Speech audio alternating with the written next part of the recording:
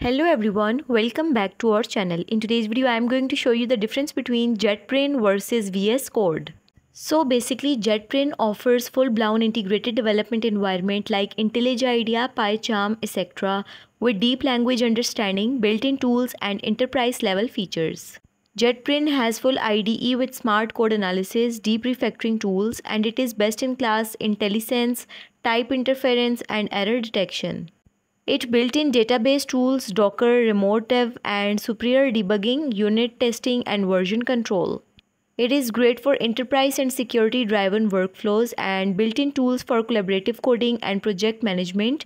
Code with me, JetBrain Space.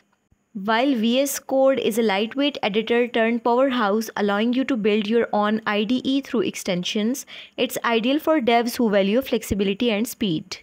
VS Code has blazing fast and extremely lightweight, enormous extension marketplace, customize anything, and it is highly popular among web, JavaScript, TypeScript, Python devs, and Copilot, LiveShare, and Remote Dev support are seamless.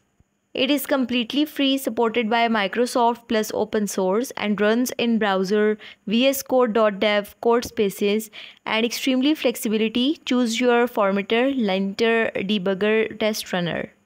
It needs lot of extensions to match JetBrain out of the box IDE features and it can become unstable with too many plugins and these are its weaknesses.